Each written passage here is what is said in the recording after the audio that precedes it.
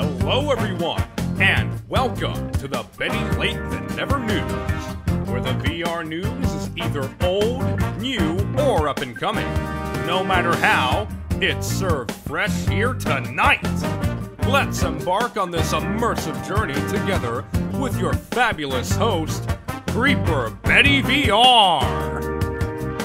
Thank you, Andrew, for another amazing introduction. I am Creeper Betty VR, as Andrew stated, and welcome to another episode of Betty Late Than Never News. So let's get the show started, shall we?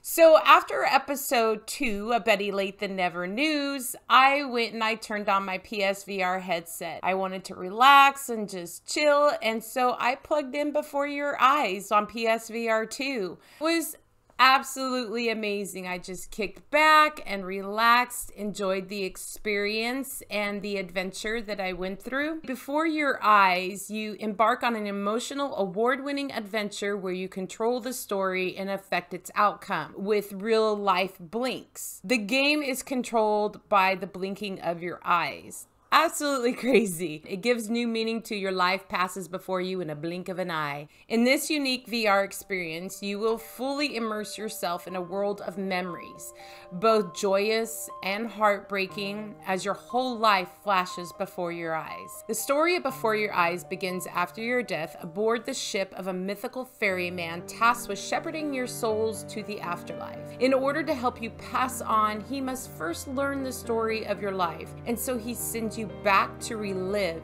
your most important moments. Precious memories of family, first love, and the rise of an artistic career. By combining its innovative Blink interaction mechanic with a charming world and a fully voice acted story, Before Your Eyes is a deeply emotional and relatable journey, one about the impossible expectations we place on ourselves and the regrets we carry with us. It was really good. It hit a lot of notes. I just sat there. I did a live stream of this game experience. I want to call it an experience because it wasn't really a game. And I had friends with me and they were handing me tissues through the chat. Definitely something I would like to go back and see if I can get maybe a different ending because I know based off your decisions and the answers that you give when you're passing through, it does affect your ending of the game. And it was developed by Goodbye World Games. I like that name. Goodbye World. Goodbye, worlds. Love that name. And it was published by Skybound Games. The release date for Before Your Eyes, it was actually back in 2021 as an adventure game. After winning multiple awards on other platforms, Before Your Eyes was released as a new PSVR 2 game on March 9th, 2023, just a few months ago. And the mechanics were a lot of fun to use. I didn't even have to really use my controllers, just only to start the game. So that brings me to our next game. I really wanted I really wanted to play Green Hell. I don't know why this game is so hard for me to settle down and play, but I had it scheduled to, to play on Wednesday. I was all excited about it, but I never put on the headset and I never played it. Something else must have came up. I didn't stream Green Hell like I wanted to, but I will definitely be doing that next week. Probably will do it live and fumble around. So the next game I would like to talk about, there is no Green Hell, but there is Firewall Ultra. And yes, I said it right. Firewall Ultra. Yay! Firewall Ultra, it was developed by First Contact Entertainment and it was released on 824 just yesterday. I dropped everything to play this game with my old Firewall crew. It was absolutely amazing. It brought back so many memories, so many nostalgic feelings. It got a whole makeover. The visuals were absolutely gorgeous and spot on. The lighting looked great. Everything was placed correctly in the tutorial so you could just just get around. And one of the things that did disappoint me that I noticed that wasn't in there anymore is the jammer. I was very, very sad about the jammer. It was so fun always playing that in a conspicuous place, seeing people freaking out. They don't have jammers anymore for the computer. That was kind of disappointing because that was one of my favorite things to do, one of Hack the Game Cat's favorite things to do. He actually taught me how to place the jammers really well. There's no jammers. I'm hoping, crossing fingers, that they'll bring that back in a patch because there's definitely going to be some patches to this game for sure. Last night, when we were playing, a gentleman stopped by. His name was Zach. He stated that, you know, he was so excited to see us playing the game, happy that we were having fun, but yet he wanted to let us know that he was aware of the multiplayer issues that were going on. The matchmaking was broken, or is broken, I should say. They're desperately scrambling to get this fixed. And I truly appreciate that. With Ghost of Tabor, I'm totally okay with, you know, a little bit of jank here and there, some forgiveness on things that may or may not work right because I know the game is in progress and but it's playable and it's a lot of fun, right? But when Firewall Ultra came out, I was really hoping that this, this is a full game. We're to go back in it. We're to have fun. But no, I, I miss the aim controller, but definitely multiplayer is broken and that makes me sad. And while I was waiting for the crew to come and join me, I did try to jump into a multiplayer match. Met some really great people, but the matchmaking wasn't working. Like we sat there, I want to say for 25 minutes, 30 minutes, and nothing. And then all of a sudden we would be in a game. Met some really great people there. DG or DBG, um, he's from the UK. He was absolutely hilarious. Um, met a really great guy named Little Mochi who loves his PSVR 2 and started watching PSVR 2 without parole. So I was like, yes. He loves AJ. He watched AJ play Firewall. They did mention that they're going to be getting another patch out. I they didn't announce when that patch was coming. Again, I I appreciate that Zach swung by, and I do have have some forgiveness. However, I appreciate a game that is complete and not rushed out the door, and I felt like this was a little rushed out the door. We still had a blast. I loved playing with my crew. Another thing that I didn't quite understand and I would have been perfectly fine with, as my friend Justin Incredible pointed out, it's 2023, guys, and a lot of the first person shooter games out there have their grenades on their chest where you could just rip them off and throw them. So maybe you can add that to a patch. I don't know. Please. That would be super great. That was enough of the Firewall Ultra. Had a great time with my old crew, and I'm looking forward to playing again this weekend. So, the next game I would like to talk about is Crossfire Sierra Squad on PSVR 2. I think all the games I'm going to be talking about today are on the PSVR 2, which is fine because that is where my heart lies. Crossfire Sierra Squad PSVR 2, the release date for this one is going to be on August 29th, 2023. The developer is uh, Smilegate Entertainment. In Crossfire Sierra Squad, you are the leader of an elite paramilitary fire team within the Global Risk Organization facing an unexpected skirmish with the rival Blacklist organization. Um, you're going to battle a variety of crafty enemies in a relentless search for the truth. Ooh. And prove why you were selected as the intrepid leader for the most feared special unit in existence, Sierra Squad. is it multiplayer? Yes, it is multiplayer. Now, this is where it gets really cool. Through 50 squad missions, 50 squad missions. That's crazy. Single player or two player co op. There are 13 campaign missions that are all single player and a horde mode up to four player co ops that's going to keep us pretty busy. Horde mode is going to be absolutely nuts. With four players, I cannot wait. I actually had the opportunity to test the game when I was in GDC in San Francisco in March of this year. The developers were so sweet, so kind, so nervous. And actually, I was quite nervous too. It was so exciting and they were very anxious to see what we all had to say. There was Mash, Todd, Wes, and myself that were there to test it out. And um, I honestly think they didn't realize how good of a game they had. I had a blast playing it. And when I got my headset off, literally one of the developers, he was tearing up because we had such great things to say about this game. So definitely looking forward to playing Sierra Squad. So, and it's going to be released midnight, August 29th. The next game I want to talk about and I kind of have to giggle to myself, but it's Phasmophobia. I mean, come on. On the on the PC VR, it is so janky. So I am highly curious at what this is going to be like on PSVR 2. Um, it's uh, the developers are, are from Kinetic Games, and it was actually supposed to be released in August. I was reading around and I ran into PlayStationLifestyle.net. They had some information about Phasmophobia. From PlayStationLifestyle.net, they stated the following With a tentative release window of August 2023, fast disappearing. it's almost gone, guys.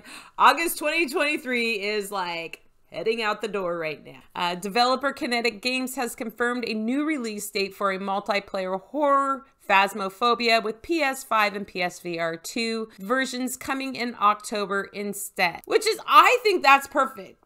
I mean, October, it's Halloween that is when you want to play all the spooky, scary games, and I really can't wait. Following along with that, Kinetic Games did ha- send out a letter. This is the letter from the developer, a piece of it, and it said, Dear Phasmophobia community, first and foremost, we'd like to thank you all for your support and that you are just excited as we are for the console release. And we are excited. Due to a recent fire incident in our office building and a unpredicted development issue, our ability to test and develop has been significantly impacted. Well, that sucks. Like, first of all, to have a fire in your building, that would put you back for sure. An unpredicted development issue, I wonder what that was.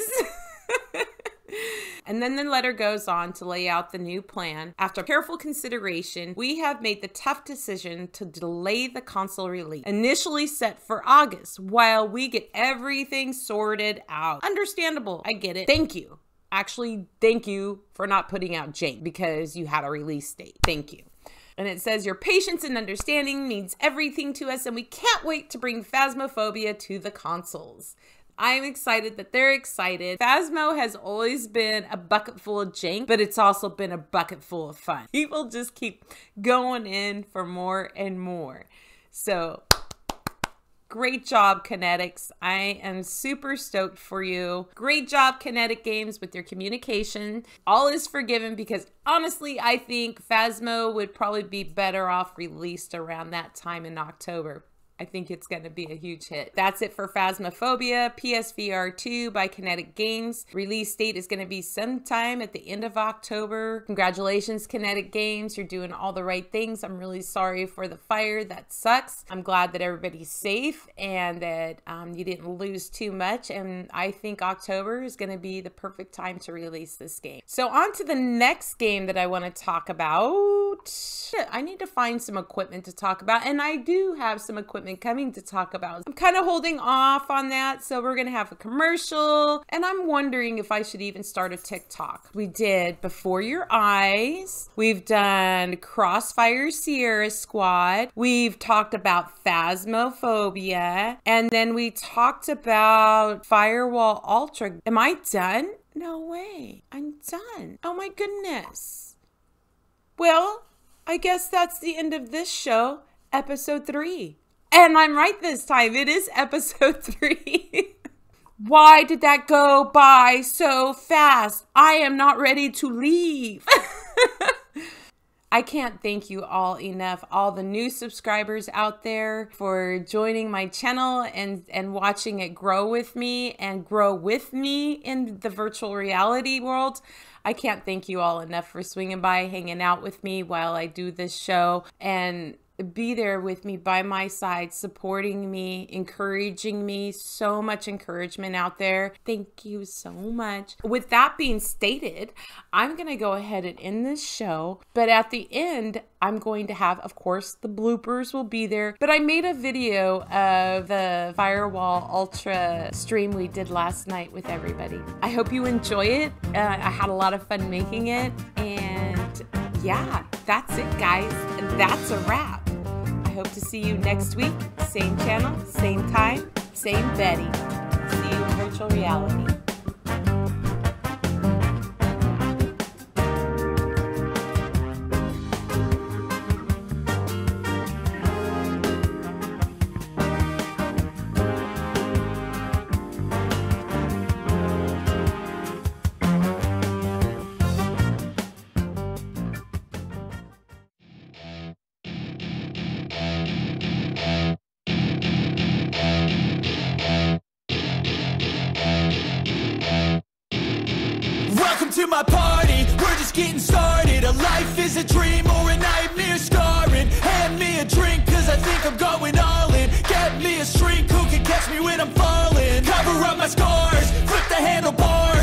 Crashing in my car, wake up in a bar. I'll be a superstar, just on my avatar. This world is so bizarre, empty out the reservoir.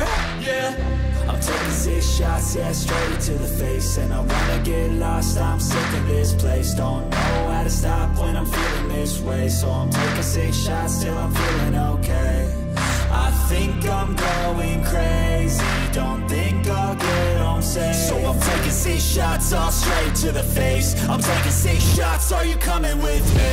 I'm taking six shots, yeah, straight to the face. And I wanna get lost, I'm sick of this place. Don't know how to stop when I'm feeling this way. So I'm taking six shots till I'm feeling okay. I think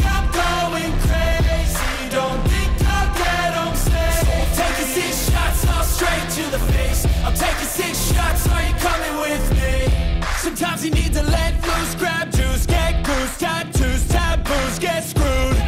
Loosen up, buttercup, all those hate comments will never make you feel enough. We're all adequate graduates, heart full of calluses, but we know calculus. Damn, ain't that fabulous,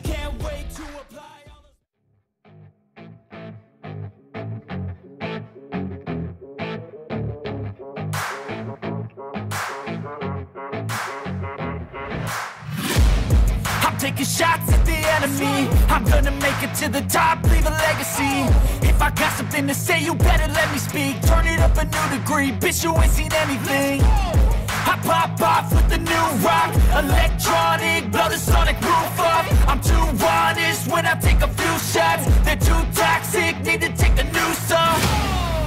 And you cannot save me Cause I don't need saving. It's everything I've been chasing All here for the taking Don't wanna test your luck with me. I think I've had enough disease. I'm sick of all the bad thoughts People who are half-nots You are not as tough as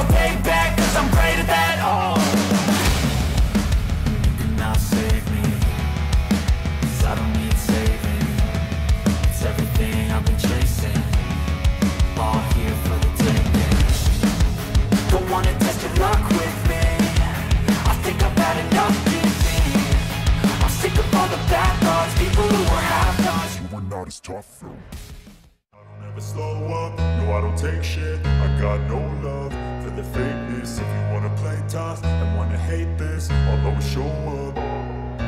I don't ever slow up, no I don't take shit. I got no love for the fakeness. If you wanna play tough and wanna hate this I'll always show up and make a statement. I don't ever slow up, no I don't take shit. I got no love for the fakeness. If you wanna play tough and wanna hate this I'll always everything I do so instinctive and so passionate. Every word I move so descriptive like an adjective. I got a vendetta against people who patented Being negative when you should be getting after it. I got facts over facts over tracks This and that, spitting slow, spitting fast. I could roast, I could gas, think I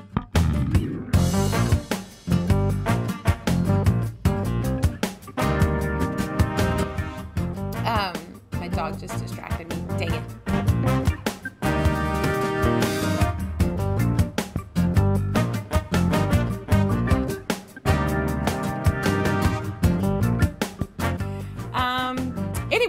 that's enough of the. Uh, bleh, I almost did it.